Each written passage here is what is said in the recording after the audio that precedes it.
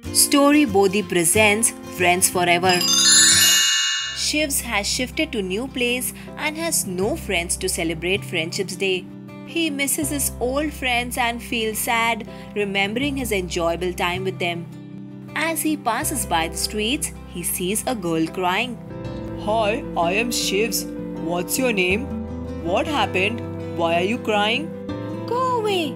I don't want to talk to anyone. Please tell me if I can help you out. No, I know you will also make fun of me like my other friends. Can you please explain me exactly what is the matter? My name is Riya. My friends make fun of me every day as my height is very small and they don't allow me to play with them. Oh, Riya, so this is the problem. Never mind. Come on, I will play with you. No, no, thank you, Shivz. I don't even know you. See, today is Friendships Day. If we become friends, then we will play daily and no one will make fun of you.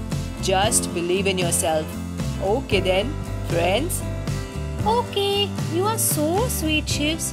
Shivz and Riya play Riya's favorite game, badminton. Riya finds it difficult, but Shivz helps her and makes the game easy for her. Riya gets very comfortable playing with him and both enjoy each other's company. Thank you so much, Shivz. You made me feel so special and made me realize that even I can play no matter what circumstances may be. On this Friendships Day, this is the best gift a friend can give to another friend. I appreciate your kindness, but in friendship, no sorry, no thank you. Okay, but I will remember this. In future, whenever you need my help, I will always be there for you. Both wish each other bye bye, and Shivz returns back home smiling all the way. So, guys, not to worry if you don't have friends. Like Shivz, you can make new friends whenever you want.